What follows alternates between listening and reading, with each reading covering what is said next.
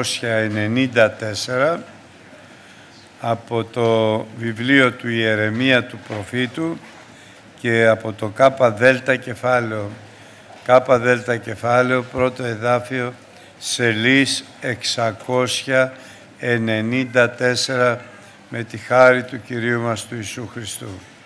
Σελίς 694 με τη χάρη του Κυρίου μας του Ιησού Χριστού. Κάπα δέλτα κεφάλαιο πρώτο εδάφιο. Ο Κύριος έδειξε σε με και ειδού δύο καλάθια, δύο κάλαθι σήκων κείμενοι έμπροσθεν του ναού του Κυρίου. Αφού εχμαλώτευσε Ναβουγοδονόσορο βασιλεύς της Βασβιλώνος, η Εχονίαν, τον Ιών του Ιωακήμ, βασιλέα του Ιούδα, και τους άρχοντας του Ιούδα, και τους ξυλουργούς και τους χαλκείς εξ Ιερουσαλήμ, και, αφαίρεσεν, και έφερεν αυτούς στην Βαβυλώνα. Ο κάλαθος ο Ίσης είχε σίκα κάλιστα, ως τα σίκα τα πρώιμα. Ο δε κάλαθος ο άλλος είχε σίκα κάκιστα, τα οποία δια την αχριότητα δεν ετρώγοντο. Και είπα προς εμέ ο Κύριος, τι βλέπεις Ιερεμία, και είπα σίκα. Τα σίκα τα καλά είναι κάλιστα, τα δε κακά κάκιστα, ώστε δια την αχριότητα δεν τρώγονται. Πάλιν έγινε λόγος Κυρίου προς εμέ λέγον, ούτω λέγει Κύριος ο Θεός του Ισραήλ. Καθώς τα καλά τα αυτά σίκα, ούτω θέλει επιμεληθεί τους εχμαλωτιστέντας εκ του Ιούδα τους οποίους εξαπέστειλα εκ του τόπου τούπου, τούπου, τούτου εις την γη των Χαλδαίων διακαλών διότι θέλω επιστηρίξει τους οφθαλμούς μου επ' αυτούς διακαλών και θέλω αποκαταστήσει αυτούς εν τη γη ταύτη και οικοδομήσει και δεν θέλω κατακριμνήσει. Και θέλω φυτεύσει αυτούς και δεν θέλω εκριζώσει. Και θέλω δώσει σε αυτούς καρδίαν για να με γνωρίζωσιν ότι εγώ είμαι ο Κύριος και θέλω είστε λαός μου και εγώ θέλω είστε Θεός Αυτόν διότι θέλω να επιστρέψεις σε με εξ όλης της καρδίας Αυτών. Και καθώς τα σίκα τα κακά, τα οποία δια την αχριότητα δεν τρώγονται, ούτω βεβαίως λέει η Κύριος, θέλω παραδώσει σε δεκίαν τον βασιλέα του Ιούδα και τους μεγιστάνας αυτών και το υπόλοιπο της Ιερουσαλήμ, το εναπολυθένει τη γη ταύτη, και τους κατοικούντας εν τη γη της Αιγύπτου και θέλω παραδώσει αυτούς εις διασποράν εις πάντα τα βασίλεια της γης προς κακόν, εις όνειδος και εις παροιμίαν, εις λιδωρίαν και εις κατάραν, εν πάση τόπις όπου θέλω διώξει αυτούς και θέλω αποστείλει προς αυτούς την μάχεραν, την πίναν και το λιμόν, έως σου αφανιστώσιν επάνωθεν από της γης, την οποία έδωκα εις αυτούς και ως πατέρας αυτών. Αμήν. Δύο βασιλείς. Ο ένας είναι ο Ιωαχήν, ο οποίος 18 χρονών εχρήστη βασιλιάς και βασίλευσε μόνο τρεις μήνες και ο άλλος είναι ο Σεδεκίας, τον οποίον ο Ναβουγοδονόσορ ο επωνομαζόμενος από τον Πατέρα Θεό δούλος του Θεού. Τον εγκατέστησε βασιλιά στη γη του Ιούδα, ευασίλευσε 11 χρόνια, 9 χρόνια πιστός με όρκο που είχε δώσει στον Αυγοδονόσορα και τα δύο τελευταία χρόνια αποστάτησε από τον Αυγοδονόσορα. Δύο βασιλείς του λαού Ισραήλ, του λαού Ιούδα, οι οποίοι και οι δύο έπραξαν πονηρά ενώπιον του Θεού. Κατά πάντα όσα έπραταν οι πατέρες τους, πονηρά ενώπιον του Θεού. Σε απόλυτη αμαρτία και σε απόλυτη ανομία. Και ο Ιωαχήν και ο Σεδεκίας. Όμως η συνέχεια και το τέλος του καθενός εξ αυτών ήταν τελείως διαφορετική. Μα τελείως διαφορετική. Και το ερώτημα είναι τώρα γιατί; Και ο Θεός εξηγεί στον Ιερεμία με μια θαυμαστή όραση. Του δείχνει δύο καλάθια σίκων. Το ένα καλάθι των σίκων έχει σίκα πολύ καλά, κάλλιστα.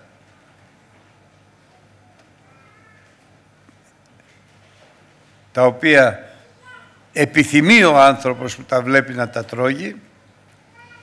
Το άλλο καλάθι έχει σίκα κάκιστα, τα οποία εκ της αυτού δεν τρώγονται. Και μέσα από αυτή την όραση λέει πράγματα θα μπορούσα να πω συγκλονιστικά.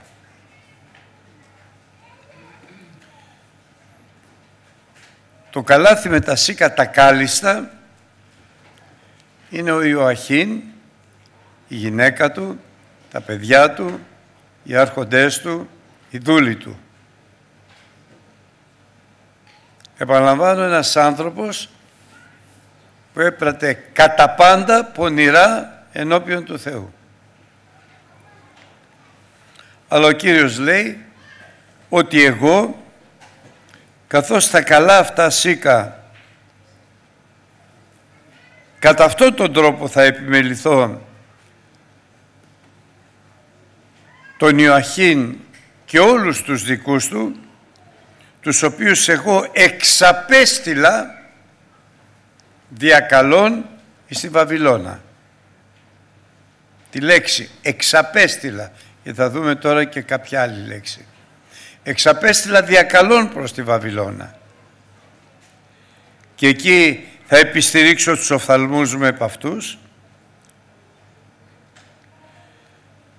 Θα αποκαταστήσω αυτούς εν τη γη της Βαβυλώνας θα οικοδομήσω αυτούς εν τη γη της Βαβυλώνας και δεν θα τους κατακριμνήσω. Θα φυτέψω αυτούς εν τη γη της Βαβυλώνας και δεν θα τους ξεριζώσω.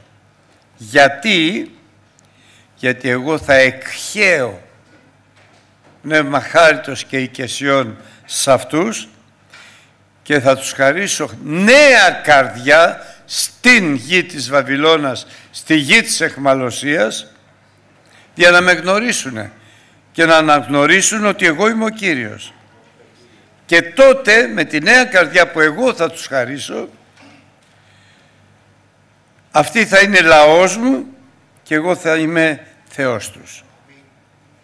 Γιατί θα επιστρέψουν προς εμέ εξ όλης της καρδίας αυτών. Αυτό είναι η συνέχεια και το τέλος του σφόδρα αμαρτωλού βασιλιά Ιωαχήν που δεν τα κατάφερε να βασιλεύσει εκ της αμαρτίας αυτού πέραν των τριών μηνών. Πάμε τώρα στο Σεδεκία. Έναν άνθρωπο τον οποίο Ναυγοδονόσορ τον εγκατέστησε βασιλιά και τον όρκωσε ότι θα τον υπηρετεί. Και ο Ναυγοδονόσορ εκτιμάει και συμπαθεί το λαό Ισραήλ εξαιτίας του Δανιήλ και των τριών παιδών όπου έχει ομολογήσει και έχει γνωρίσει ότι ένας είναι ο αληθινός Θεός, ο Θεός του Δανιήλ, των τριών παιδών, αλλά και ο Θεός του Ισραήλ.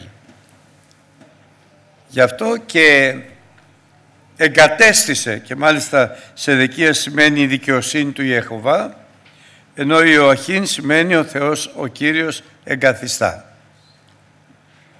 Τον εγκατέστησε βασιλιά,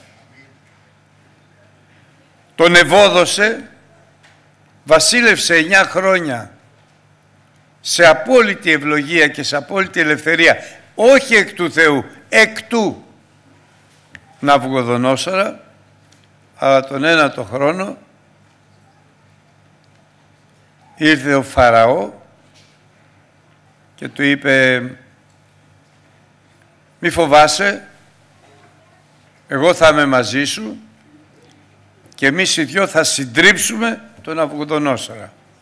Και δεν έφτανε αυτό, αλλά και προφήτες, ψευδοπροφήτες, που που είναι πάρα πολύ σοβαρό. Οι ψευδοδιδάσκαλοι και οι ψευδοπροφήτες κάνουν μεγάλο κακό στο λαό του Θεού.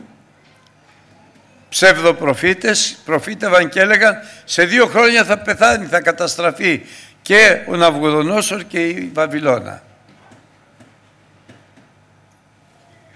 Και πίστεψε. Το αποτέλεσμα. Τον ένατο χρόνο πολιόρκησε τον αποστάτη βασιλιά του που αυτός τον είχε εγκαταστήσει ο Ναβουδονόσορ στο λαό Ισραήλ τον πολιόρκησε. Έγινε πείνα μεγάλη τεράστια πείνα. Και όταν έβλεπε είδε το κακό αυτό το μεγάλο το οποίο συνέβη ο Σεδεκίας κάλεσε τον Ιερεμία να τον ρωτήσει τι μελιγενέστε. Και ο Ιερεμίας με λόγο Θεού, με φωνή Θεού, του λέει καταστρέφεται η Ιερουσαλήμ, καταστρέφεσαι εσύ, καταστρέφεται η οικογένειά σου, καταστρέφονται οι αρχοντές σου εκτός και αν ελπίσεις στο Θεό, υπακούσεις το Λόγο Του, παραδοθείς και τότε θα βρεις χάρη από το Θεό καθώς ο Κύριος θα σε εξαποστείλει σαν τον Ιωαχήν, η Εχονία, ο ίδιος είναι, στη γη της Βαβυλώνος. Ο Σεδεκίας όμως πια δεμένος στην παράβασή του και στην ανομία του, φοβούμενος τους άρχοντές του που τους είχε υποσχεθεί θρίαμβο δια του Φαραώ, είπε δεν μπορώ να το κάνω αυτό. Φοβάμαι τους άρχοντές μου, αλλά πέραν τούτου φοβάμαι και τον ανιδισμό όταν θα πάω στη Βαβυλώνα από τους εξόριστους Ισραηλίτες που βρίσκονται εκεί και δεν πήγε. Τώρα όμως να δούμε την αιτία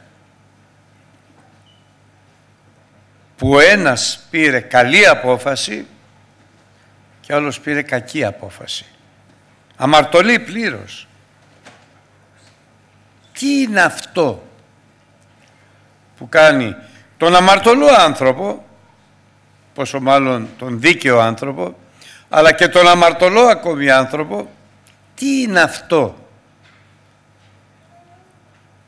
που τον κάνει να πάρει σωστή απόφαση είτε είναι αυτό που κάνει να παίρνει λανθασμένη απόφαση. Φοβερό αδερφοί αγαπητοί αυτό το μέγα μυστήριο.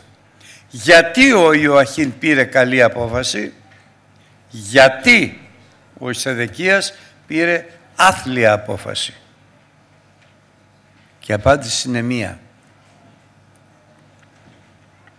ευλογημένος είναι ο άνθρωπος όχι αν είναι αμαρτωλός ή όχι ευλογημένος είναι ο άνθρωπος που ελπίζει στον Κύριο και μόνο στον Κύριο καταραμένος είναι ο άνθρωπος που ελπίζει σε άνθρωπο και κάνει βραχίον αυτού βραχίον ανθρώπου. Αυτός θα καταντήσει μόνος του σε καταστροφή. Και πράγματι, τον 11ο χρόνο της βασιλείας του, όταν πια ο Ναβουγοδονόσορ επεκράτησε στην αντίσταση του λαού Ισραήλ, κατά το λόγο του Ιερεμία, οι άρχοντές του έφυγαν για να κλειτώσουν μαζί και ο Σεδεκίας, αλλά ο Ιερεμίας του είχε πει και ο Κύριος του είχε πει ότι όλοι θα σε εγκαταλείψουν και θα μείνεις μόνος σου όπως η αγριομυρίκη σε έρημο τόπο επειδή έλπισες σε Κύριο στο Φαραώ. Και τώρα να δούμε τη μεγάλη διαφορά αγαπητά μου αδέλφια. Ο Ιωαχήν 18 χρονών σε αμαρτία, παράβαση, ανομία, πλήρη αλλά σε απόλυτη αδυναμία Γιατί δεν βρέθηκε ούτε ένας άνθρωπος να τους πει μη φοβάσαι εγώ θα είμαι μαζί σου. Δεν βρέθηκε ένας άνθρωπος να ελπίσει. Και έτσι από απελπισία, όχι από πίστη, ήλπισε μόνο στο Λόγο του Θεού, στο Θεό και στα λόγια του Ιερεμία. Μόνο από απελπισία. Και δεν βρέθηκε κανείς να του πει μη φοβάσαι εγώ θα είμαι μαζί σου. Και το αποτέλεσμα είναι ελπίζοντας στα λόγια του Ιερεμία αυτός, η οικογένειά του, τα παιδιά του, οι άρχοντές του, όλοι εξαπεστάλησαν, κατέληψαν, τους εξαπέστειλε ο Θεός, γιατί ήλπισαν σε Αυτόν. Τους εξαπέστειλε ο Θεός στη γη της Βαβυλώνας για καλό. Μόνο και μόνο επειδή ήλπισαν στο Λόγο του Θεού. Γιατί ο Λόγος του Θεού είναι αυτό το ναι και είναι αυτό το αμήν. Και έχει τη δυνατότητα ο Θεός όταν ο άνθρωπος ελπίσει σε Αυτόν να αλλάξει τα πάντα. Και την καρδιά του και τη ζωή του. Και ξέρετε αγαπητά μου αδέλφια, ο Ιωαχήν στο τέλος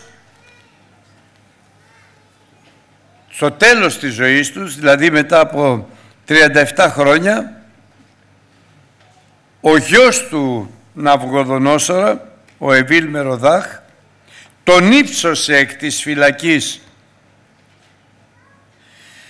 τον Ιωαχήν, ελάλησε ευμενός με ταυτού, έθεσε το θρόνο του Ιωαχήν επάνωθεν του θρόνου όλων των βασιλέων των μεταυτών εν Βαβυλώνη, ήλαξε τα ημάτια της φυλακής αυτού, έτρωγε άρτον πάντοτε μεταυτού πάσα στα σημέρα της ζωής του Ιωαχήν, το σιτηρέσιον αυτού ή το πατοτινό σιτηρέσιον διδόμενον εις αυτόν παρά του βασιλέως, ημερούσιος χορηγία πάσα στα σημέρας της ζωής του Ιωαχήν. Επαναλαμβάνω, Ιωαχήν έπραξε κατά πάντα πονηρά ενώπιον του Κυρίου. Αλλά βρεθείς 18 χρονών σε απόλυτη αδυναμία, καθώς δεν υπήρχε ούτε ένας άνθρωπος να σταθεί και να του πει «Μην φοβάσαι, εγώ θα είμαι μαζί σου». Εντελώς μόνος του. Και έτσι, επαναλαμβάνω, όχι από πίστη αλλά από ελπίδα, δεν είχε τίποτα άλλο να κάνει παρά να ελπίσει στον Ιερεμία, στον προφητικό λόγο του Θεού, στον Κύριό του, στον Κύριο τον Ιησού Χριστόν που δεν ήταν Κύριος του. Και ο Θεός επειδή μόνο και μόνο ήλπισε σε Αυτόν και υπάκουσε στη φωνή του Ιερεμία, τον εξαπέστειλε μαζί με όλους τους συνεργάτες του που τον ακολούθησαν, μαζί με όλους όσους τον ακολούθησαν εξ αδυναμίας, ελπίζοντας και αυτοί στο λόγο του Κυρίου, σε τρεις μήνες βασιλεία και τον εξαπέστειλε για καλό στη Βαβυλώνα. Και εκεί στην Βαβυλώνα έγιναν νέα τα πάντα. Σε αυτόν και σε όλη την οικογένεια. Επειδή πίστεψε στο Λόγο του Θεού. Και πίστεψε στο Λόγο του Θεού επειδή ήλπισε στο Λόγο του Θεού γιατί ήταν σε απόλυτη αδυναμία και δεν υπήρχε κανένας άλλος να ελπίσει σε Αυτόν. Σε αντίθεση με τον ευλογημένο Σεδεκία που έπραξε μεν πονηρά ενώπιον του Θεού αλλά ο Ναυγοδωρός τον έκλεξε και τον κατέστησε βασιλιά. Αλλά ξαφνικά εμφανίζεται στη ζωή του ο Φαραώ τον ένατο χρόνο της βασιλείας αυτού και του λέει έλα μαζί μου μη φοβάσαι θα συντρίψουμε τον Αυγοδονόσορα.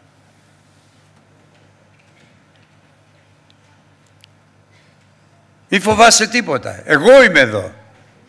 Πανίσχυρος ο Φαραώ. ανθρωπινος δικαιολογημένα. Ο Σεδεκίας εμπιστεύτηκε το Φαραώ. Ήταν πανίσχυρος. Πνευματικά εντελώς αδικαιολόγητα. Αλλά πλανήθηκε έτη περισσότερο και από τους ψευδοπροφήτες του. Που του λέγανε πήγαινε με τον Φαραώ, σε δύο χρόνια καταστρέφεται ο Ναυγοδονόσορ. Και ήλπισε, όχι στον Θεό ούτε στα λόγια, και μέχρι το τέλος ακόμη, του Ιερεμίας, στο Λόγο του Θεού, ήλπισε στο Φαραώ και το τέλος του ήταν συνελήφθη. Εφωνεύθησαν μπροστά στους οφθαλμούς του τα παιδιά του, τον ετύφλωσε ο Φαραώ και ο Θεός δεν τον εξαπέστειλε στην Βαβυλώνα για καλό, τον παρέδωσε στη Βαβυλώνα για κακό. Μόνο και μόνο, φοβερό αδελφοί αγαπητοί, γι' αυτό όσα προεγράφησαν, προεγράφησαν για τη διδασκαλία ημών. Φοβερό, μην εξετάζεις την κατάσταση στην οποία βρίσκεσαι σήμερα, μπορεί να έχεις πέσει. Μπορεί να έχεις κάνει λάθη. Μπορεί ακόμη να είσαι και σε αμαρτία και δεν μπορείς να ελευθερωθείς. Ένα πράγμα βάλε στο μυαλό σου. Η ελπίδα σου στον Κύριο και μόνο στον Κύριο. Αυτός θα σε ελευθερώσει και από την αμαρτία σου, αλλά και αυτός θα σε ευλογήσει μέχρι το τέλος της ζωής σου. Με την προϋπόθεση, γιατί είναι γραμμένο και η Γραφή δεν δύναται να αναιρεθεί. Ευλογημένος είναι μόνο ο άνθρωπος που ελπίζει, που ελπίζει μόνο στον Κύριο. Δεν εξετάζει τίποτα άλλο ο Κύριος.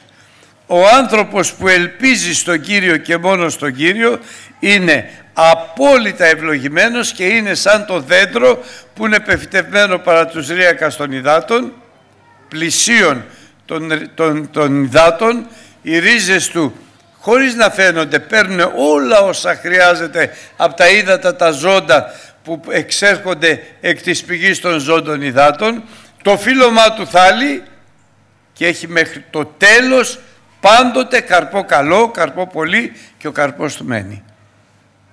Σε αντίθεση με τον άνθρωπο ο οποίος ελπίζει σε άνθρωπο και αυτός θα είναι σαν αγριομυρτιά μόνος του σε έρημο τόπο θα έρθει το κακό και δεν θα το δει. Θα κατοικεί τόπους ξερούς εν ερήμο γη αλμυρά και ακατοίκητο σήμερα λοιπόν το μήνυμα είναι αδερφοί αγαπητοί έτσι τουλάχιστον όπως μου το έδειξε ο Θεός, είναι μοναδικό.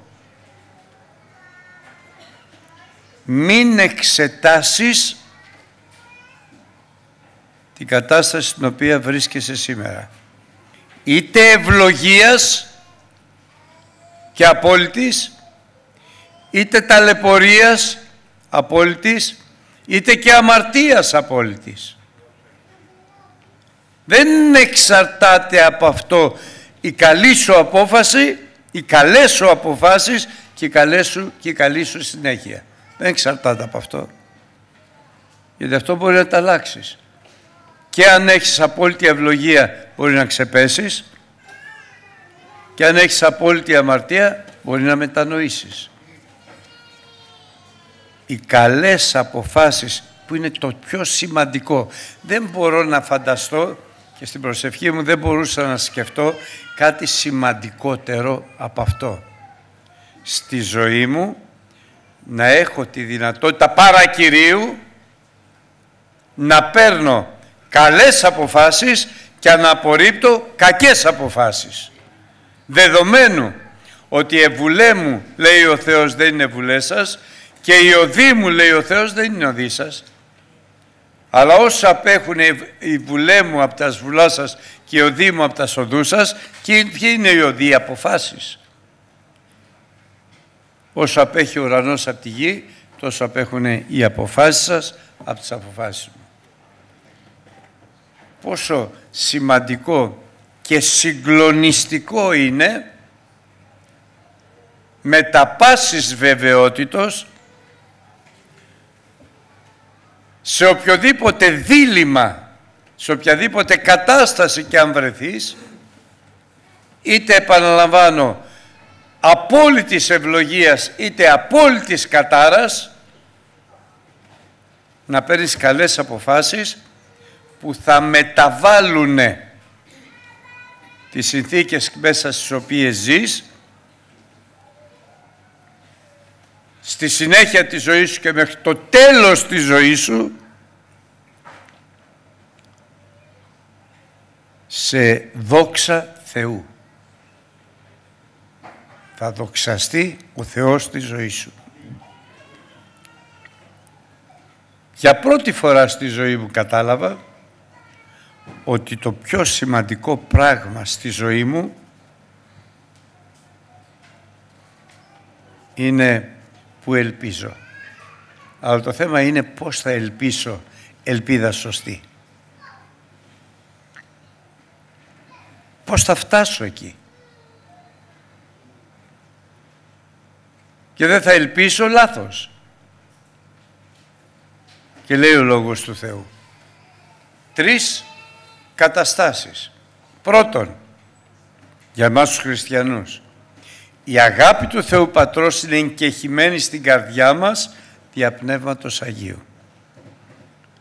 Έτσι λοιπόν, όταν πληρούμεθα Πνεύματος Αγίου, όπως θέλει ο Θεός, και πλήρωση Πνεύματος Αγίου δεν είναι μόνο, μόνο να μιλάμε γλώσσες, είναι να ζούμε κατά το Πνεύμα και να περπατούμε κατά το Πνεύμα, και το Πνεύμα το Άγιο να μας οδηγεί σπάσαν την αλήθεια, να μας αποκαλύπτει τα μέλλοντα και γνωρίζοντας πάσαν την αλήθεια να περπατάμε και εις πάσαν την αλήθεια. Πλημμυρισμένη την καρδιά μας δια Αγίου, με αγάπη δια Πνεύματος Αγίου. Και τότε αυτή η μοναδική θεϊκή πατρική αγάπη το έχω πει πολλές φορές αλλά είναι σημαντικότατο, μεταμορφώνει την πίστη σου, πιστεύεις ότι ο Ιησούς Χριστός είναι ο Υιός του Θεού του Ζώντος; Γιατί γι' αυτό και επικαλεστήκαμε το όνομα του Χριστού και μας έσωσε. Μεταμορφώνει την πίστη σου σε πίστη όμως διαγάπης ενεργουμένη. Ενεργοποιείται η πίστη η ανθρώπινη σε πίστη διαγάπης ενεργουμένη και ποιας αγάπης, της θεϊκής αγάπης. Και έρχεται ο Λόγος του Θεού και λέει τι είναι αγάπη; Και είναι πάρα πολύ σοβαρό ελπιζομένων πεποίθησης. Δηλαδή η πίστη σου ενεργοποιημένη από την αγάπη γεμίζει τη ζωή σου με μία ελπίδα πίστης που είναι ελπιζομένων επίθεσης. Υπόστασης λέει το κείμενο, πεποίθησης. Αυτή η πεποίθηση, αυτή η πίστη πλημμυρίζει την καρδιά σου με ελπίδα. Αυτό λοιπόν είναι το μονοπάτι της απόλυτης πλήρους και τέλειας ευλογίας που οδηγεί σε άριστες, όχι καλές, σε άριστες αποφάσεις επί καθημερινής βάσεως μέχρι τέλους για να φτάσουμε πλουσίως να εισέλθουμε στη Βασιλεία των Ουρανών εν τέλει δια της αρπαγής της Εκκλησίας. Πίστης, ελπίς, αγάπη. Μεγαλύτερα δε τούτον η αγάπη. Αυτό είναι το μεγάλο μας μυστικό.